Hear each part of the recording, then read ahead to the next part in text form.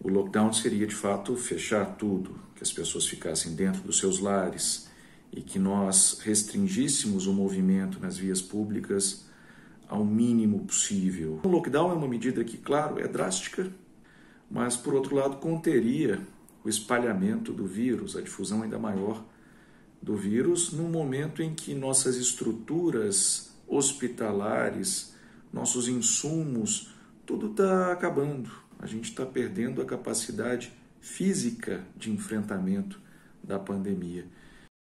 Mas no Brasil, essa solução tem sido vista com desconfiança, tem sido vista com uma, uma reticência enorme. E o que eu acho que escapa frequentemente é que é uma solução que deu certo.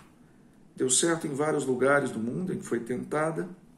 O caso mais espetacular de sucesso uh, talvez seja o caso de Wuhan, na China.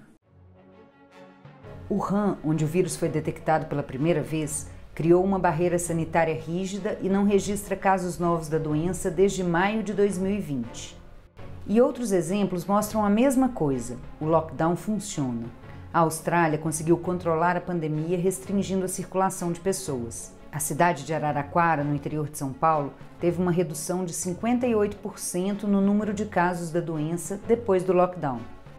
E, e talvez fosse o caso de nós contemplarmos essas experiências bem-sucedidas. O Reino Unido acaba de fazer coisa parecida e também obteve um sucesso espetacular na contenção, e aí já combinando com a vacinação.